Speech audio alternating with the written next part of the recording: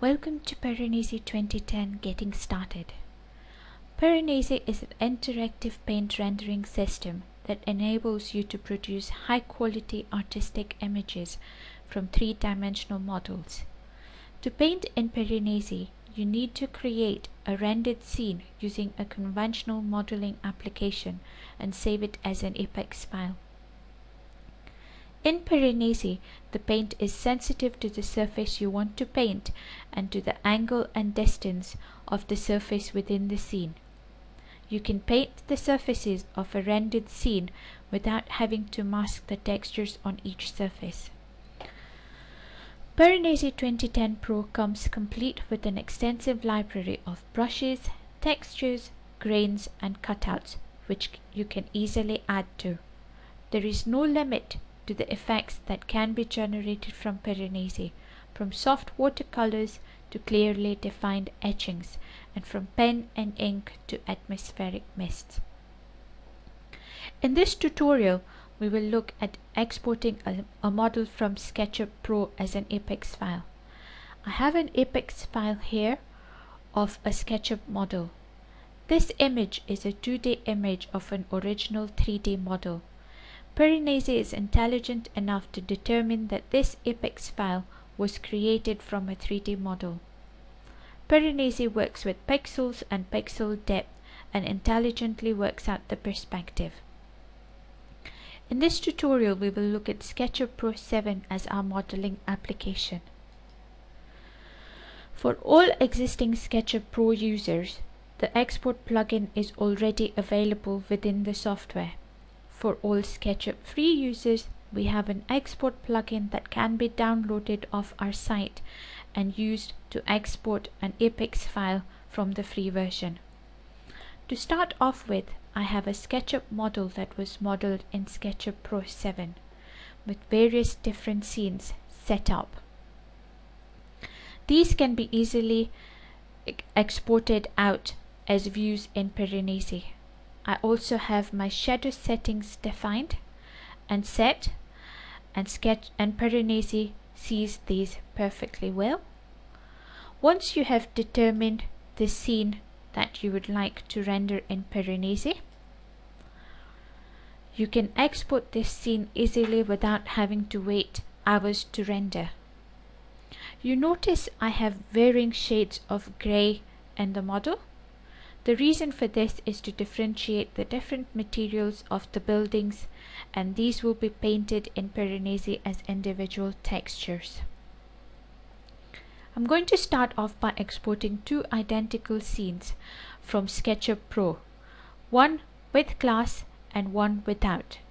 I can do this by switching off the glass layer within the layers dialog or switching it back on.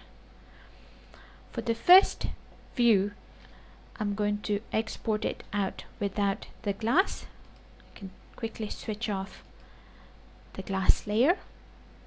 I can do this by File, Export, 2D Graphic, and choose EPix as my file format.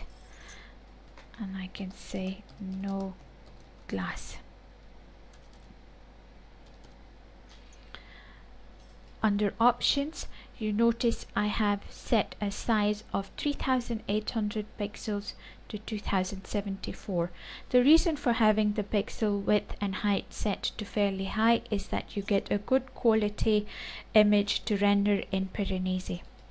I've already exported one out earlier, so I will not do that again. I can turn the glass on from the layers dialog and do the same thing again. Export 2d graphic. This time I can say with glass.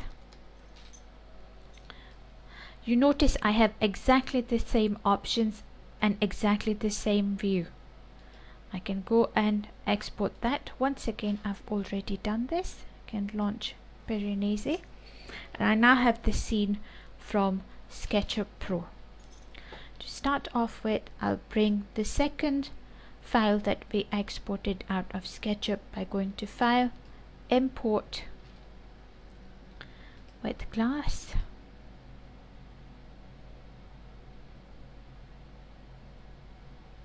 You notice Piranesi automatically creates a second layer. I'm going to hide the building on the second layer and leave only the glass. I can now start painting the image. To start off by painting the glass. The reason for creating the second layer, uh, the second image from SketchUp with the glass is so that you can go in Piranesi and paint the glass and change the opacity of the glass. Start adding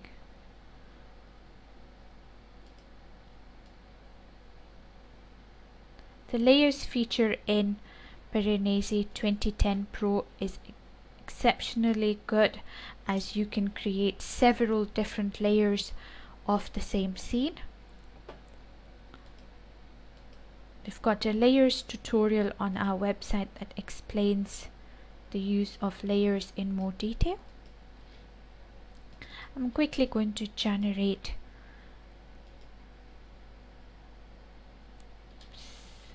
Wrong layer, create a new layer, add the water. I can reduce the opacity on the water. I can then go in there and create. I'm using a ripple brush. To just give a few ripple effects. You can use your own brush styles and bring them into Piranesi to create different effects. I can reduce the opacity on both the layers just to blend in the color and I can do the same thing on the side.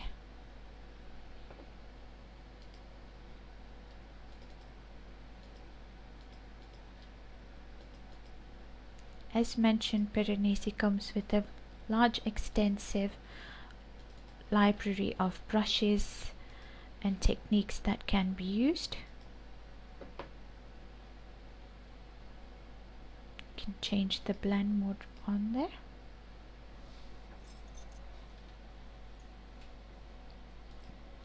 Sorry, wrong.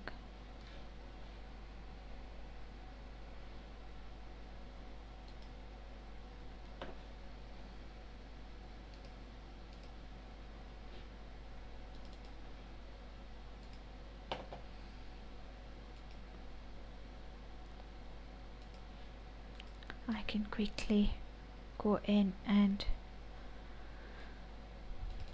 populate the scene.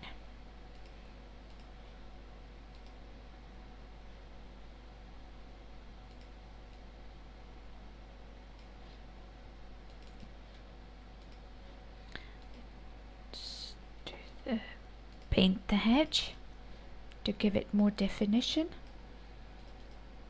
Again, I'm using brushes and things that are already available within Piranesi 2010 using a bristle brush to just give it a rough effect.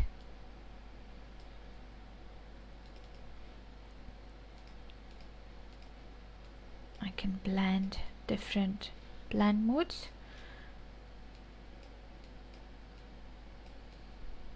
you notice that if I move the cursor around anywhere else on the screen nothing else gets painted and that's because I'm using a material lock.